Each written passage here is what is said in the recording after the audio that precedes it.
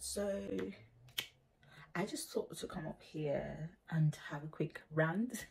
I don't know who else is going through this with me, but um, I've been sleeping on my content creation journey, all because um, I get really frustrated when um, I have to make my fashion videos, my styling videos, or try on hauls, and um, I make up and the makeup stains my clothes, and even though I've not worn them out out anywhere I have to wash them because they get stained with makeup. So it really gets annoying and frustrating and that alone sort of frustrates me to no end. So anytime I think about creating content those are the sort of things I, I think about. You know how humans are.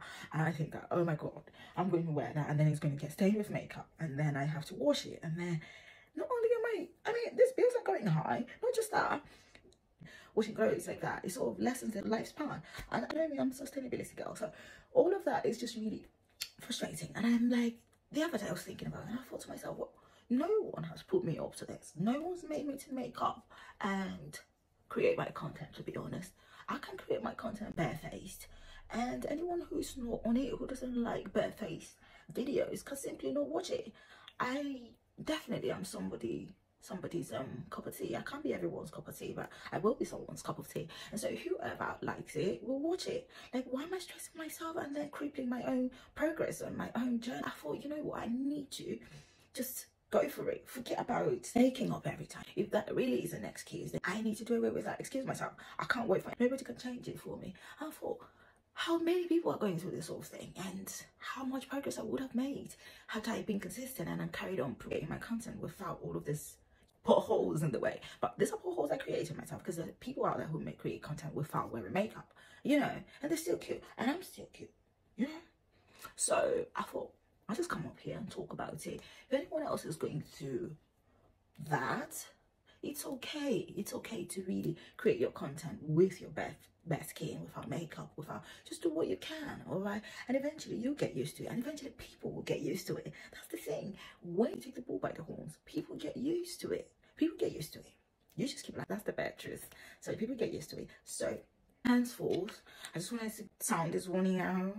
do not be alarmed. You will be seeing a lot of um bare face content from me, and I hope that you don't have a problem with it. If you have a problem with it, anything anybody can do about it, to be honest. Because I'm not gonna, I'm not gonna be washing and running this bills up.